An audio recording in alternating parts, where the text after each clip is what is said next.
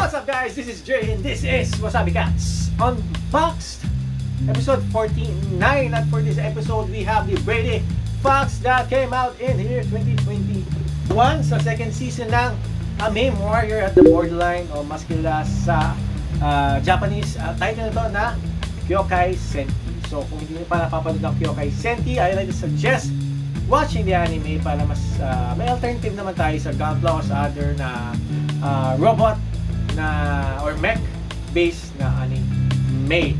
So uh, for this episode, we have the Brady Fox, isa siyang grant unit na nakabase sa AI ni Ghost. So alam naman natin si Ghost napaka advanced na unit no.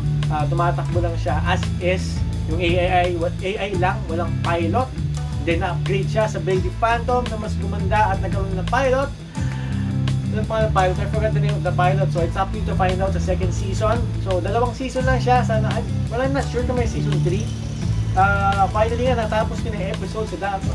Sa every unboxing natin, sasabi ko na I will watch. I will watch. Nakailang unbox na ako.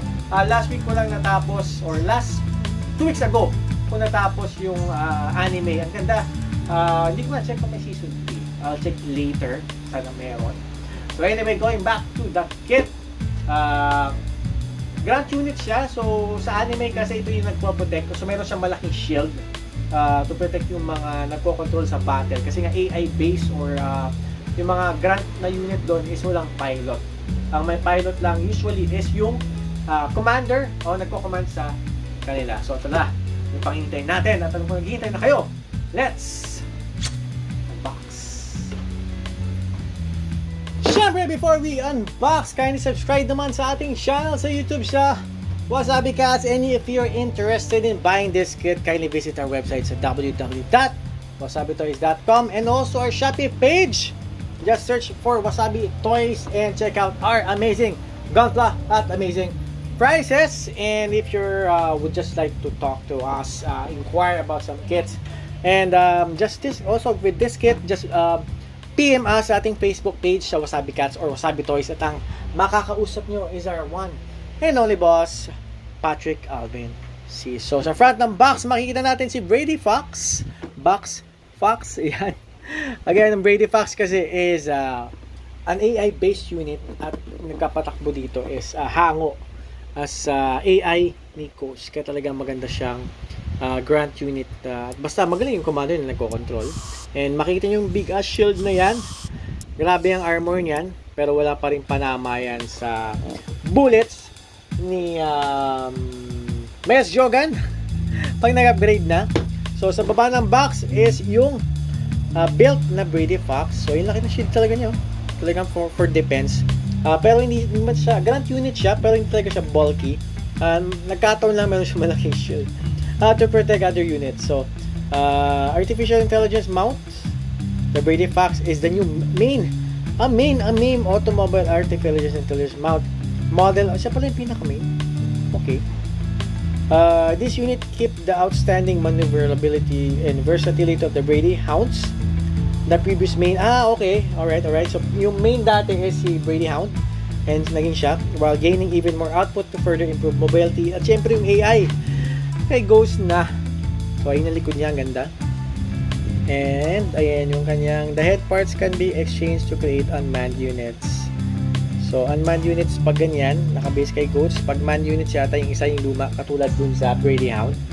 So, ayun yung mobility, yung kanyang possibility. Laki talaga ng shield. Ay, natutupi yung shield. Uh, the lower section of the shield can move. Ayun! Sana magkaroon tayo niyan. At nagagalaw din yung handle ng kanyang barrel. Uh, the, malaki na yung barrel, malaki pa yung shield. So, attack and defense pala tong Brady Fox. Yan. Right, so sa left ng box is also the same. Usually naman ganun talaga. Number 12 na siya sa lineup ng main kits. Right side is syempre also the same. Kung ano yung nasa front. And sa top ng box is uh, the usual. Yun yung start carrier. Saan tayo makakuha kaya yan? Siguro makailangan natin mga apat. Or tatlo. And Joehound, yan, i-unbox, unbox naman natin yung Joe. Ay, unbox natin yung Joehound. Or wait, i-unbox pa lang pala natin yung Joehound next. At, uh, uh, introduction ng anime, yung 8 months na, second season, hindi ko na ikikwento yan, just watch the anime, ang Yokai Senki. So tara, let's unbox! Now, for tools and accessories, uh, just visit our website pa rin, www.wasabitoys.com para matulungan namin kayo. And just send us a PM sa web uh, sa Facebook page natin, Wasabi Cats or Wasabi Toys. Naganap pa tayo ng uh, ng tool ng pang-fry, pang-cut ng scotch tape. Yan ah, fresh from the shop. Let's unbox! Siyempre, unahin muna natin parate ay ang manual. So, front ng manual is always the same. Oops, sorry, sorry, nagano natin yung camera natin. Always the same kung ano yung nasa uh, box art ng box natin. So, yun siya. So, yung kanyang AI is gumagana yung kay Ghost. And pause pareho na talaga sa Brady Fox o Brady Phantom. Diba? Brady Hound. Sabi ko na lahat. So, ayun siya. Unmanned unit. Uh, pag manned unit naman, meron na sa taas. Yun lang ba? So, I guess if tama yung pagkakaalala ko, uh, you can create this or this either dun sa dalawa. Uh, yun pala yung, ayun pala yung ibig sabihin pag may ganyan. Kasi yung uh, yung box natin na uh, Brady Phantom, may ganito. So, manned unit. Kasi nga, ang pirate, eh, yung dalawa, yung kaibigan ni, uh, ng main, pangalan ni, ano, uh, wait lang. Sa bila natin. sa kabila, nakakala ko kalaban, yung pala may purpose. Ito yung mga kasama niya, si Raymond Hardy at si Sophia Lewis. Oh, may ito pala yung unit nila. Hindi, parang hindi ko maalala. Right, so ilan ba yung runners ng Brady Fox? Let's count. Uh, it has 1, 2, 3, 4, 5, 6, 7, 8, 9, 10, 11 runners. So, mas marami tong runners kumpara sa Brady uh, Phantom at sa ano ba? Brady Phantom. O sa Brady Hound, parang 10 lang yata yung runners ng Brady Hound. Anyway, so first na gagawin natin yung legs. So, ayan. So, looking at it, parehong pareho sa Brady Hound kasi doon nga siya hango. In-upgrade lang siya. Sa waist, So, I think yung output lang talaga yung pinalitan nito. Mas mataas. Uh, for faster mobil mobility. And yung body niya, yan. Mau-compare natin to pag nabuo no, sa Brady, uh, Brady Hound. Eh, pag pa, didikitin natin sila sa video. And then, this is pa rin yung body. Continuation ng body. And yung arms, yung dalawang arms niya. Yan, two arms syempre. Right arm complete. Left arm complete. And hover units. Yung kinakabit sa left tsaka shoulders niya. Yung pang hover or pang, pang flight. And man unit yan. Ang man unit natin meron parang uh, sombrero. ano yung sura ng unmanned unit? Oy, dito mo tayo sa colored page yung Brady Fox. Ayun siya. Ay, sana magkaroon tayo niyan yung transportation state. Pero iba kakaiba yung transportation state niya kasi may dalawa siyang uh, hawak. So hindi siya completely nakatupi. And then yung kanya mga poses na pwede gawin, kailangan natin ng uh, stand. Brady Fox, a MIME Automobile Artificial Intelligence Mount. So siya nga yung from NAC Forces, but parang puro from NAC yung mga unit na ano, uh, na-unbox natin. Again, for color, guide. Eka lang kung gusto nyo pinturahan to, just uh, PM Kuya Dave C for Zerk Paints. And uh, could also visit his Shopee page as a Zerk. Just search Zerk, no? Sa Shopee. And next is yung weapons, saka yung shield weapons. Yan, nagagalaw. So, ito yung kanyang weapon assembly. Kailangan yung buksan yung kamay para naman mahawakan yung kanyang rifle. Parang ang laki ng rifle niya masyado. Malaking balang to. Nakalagay ba? Oh, nakalagay. Yung pangalan ng baril niya, laki eh. Blue. Then, next is yung shield. Ayan, na natutupi at nagagalaw. And transformation to the landing form from mounting form. Ay, nagagalaw pala yan. Ayan, na hihila palabas at nahihila paloob. Ito na siya yung store carrier. Nakita ko na. So, kailangan mo siyang talaga, may gagawin ka pala talaga para ma-mount mo siya store carrier. Ayun siya. Ayun. Man unit and ban unit. So, siya pag ilalagay niya sa store carrier sana makakabili tayo niyan medyo mahal kasi kaya hindi ako nabili so that's it for the manual. Tara check out naman natin yung mga runners. For the first runner kita natin kulay white. Parang ito lang yata may white na na unbox ko. Parang yung gray niya parang puro desert colors. Eh. Ayan, so unahin muna natin yung kanyang big super big na rifle. Parang ano so, well sa sa kulay mas lighter sa video pero in actual mas darker purple yung dating niya. So siguro sa light yan yan ganyan yan. So halos pareho na. So I think sa light lang. And then merong uh, gray parts dito. Sa head yata to o yung kanyang neck. And this one I'm not sure what this is. Alam ko lightsaber. And then ito ano kaya parang part ng kamay. Ang laki And then, ito yung pinaka face niya. And, kita ba? And now, for the next runner, this is runner A1. So, may A2, A2 panigurado. A4, A5. Color is gunmetal. Next is runner uh, B1. So, ito yung mga armor. Ito yung head niya.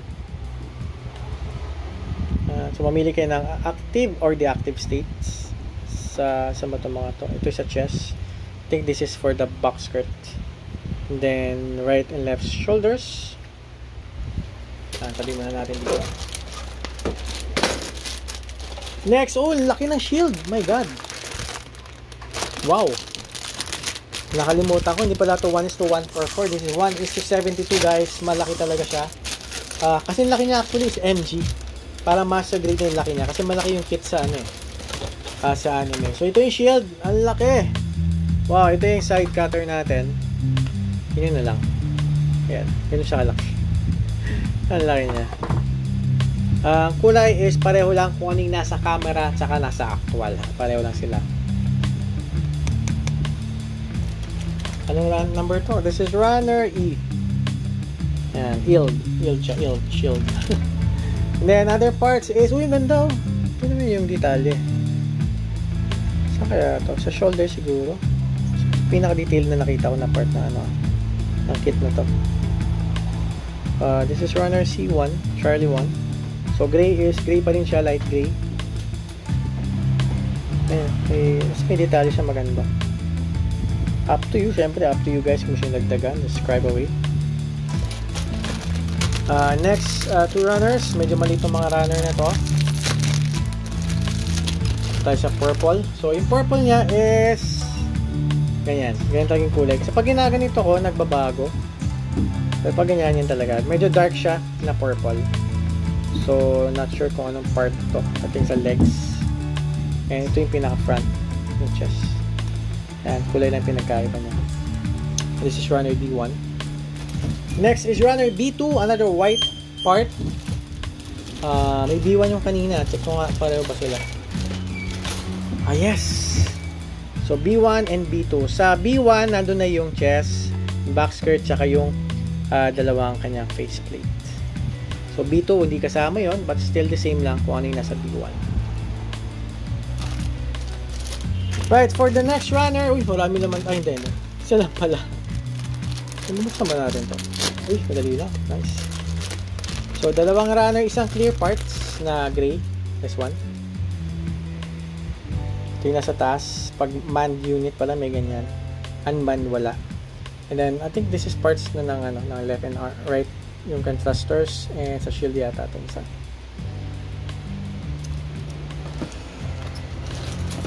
Last runner. Run, or I mean runners. So, dalawa yung laman ng ating uh, plastic. At merong uh, foil sticker. Yan. So, this is runner A2. So, ito yung mga internal parts uh, ng kit. So, this is runner A2. And gunmetal yung kulay niya. So, kala ko ano, gulong. Hindi pala. And gunmetal. Next is runner A1. So, may A1, mayroong A2. So, uh, halos pareho lang. Pareho ba? I think not. Ah, hindi, hindi pala. Iba yung laman ng A1 sa A2. And ano, gunmetal pa yung kamay nandito, parts ng body tsaka internal. So yun tara. Let's Ah, hindi pa, hindi pa. Nakita ko. Then, kanyang foil sticker. Yan. Uh, for Brady Fox. So, medyo madami. Pili kayo dyan. Ito yung I think sa mata. And not sure where those, where those goes, where uh, ito ikakabit. Yan. So, that's it for the runners. Tara, let's assemble. Alright guys, build completion. Build completion is around 4 to 5 hours in total. So hindi ko siya nabuo ng dire-diretso. Siguro 1 uh, 1 hour a day. And kakatapos na natin siyang i-build. So this is the Brady Fax 1 is 272 so what can I say about it? Gustong gusto ko yung kanyang design kasi yung kanyang pa, pagka flight unit. Halos pareho siya sa Brady Hound at uh, I think yung pinagkaiba lang, eh, well hindi siya pinagkaiba. Uh, yung well, sa design, yung kanyang uh, shield. Uh, kasi at syempre yung kanyang rifle na napakalaki. If napanood nyo na anime, so siya yung pinaka parang uh, defense type na Grady na unit. Yun nga lang, uh, sabi ko nga, uh, overall body kasi niya is parang Grady Hound talaga. Mayroon lang siyang malaking shield at malaking rifle. At uh, color-wise, gustong gusto yung kulay niya kasi neutral colors. Uh, hindi siya masyadong uh, fancy, fancy looking na colors. And parang sa Brady Out, desert color. Ito parang urban yung dating niya. Kaya gustong gusto ko. Yung shielding niya, uh, talagang pang city, pang urban yung style. Um, talagang pang ano yun. At pag marami ko yung ganyan, tapos ang nag-lead sa kanya si Brady Hound, ang ganda tingnan. Uh, gagawa tayo ng army. kung may budget. So yan, tingnan natin ng mas mabuti at focus tayo na onte sa kit. Alright, so yung mga accessories niya na kasama is meron siyang extra na parang body part uh, interchangeable dito. So pag uh, pwede yung walang ganyan at pwede rin ganito lang. Sa pag ganyan kasi man yung unit. Pag wala naman unman. So AI yung nagpapatakbo. At meron siyang dalawang uh, set of hands, uh, open type. At yung isa naman, close type para mahawakan yung shield. Ayan. At yung kanyang beam rifle. I'm not sure kung beam rifle nga yan. So, tingnan natin na mas maigi yung kanyang uh, shield. Ayan, nahirapan tayong tanggalin. Uh, kailangan nyo muna ikabit sa kamay, no? Bago nyo siya ikabit sa pinaka-arms. So, higa ka muna dyan. So, ito yung shield niya. Medyo plain siya pero I think it will function kung ano naman yung kanyang purpose talaga. It's just to defend yung kanyang lead unit. Yung lead unit kasi nila, yun yung man type na Brady Hound. So yung Brady Fox yung nagpro-protect sa uh, Brady Hound. Natutupi siya. Ayan, ganyan lang naman yung tupi niya.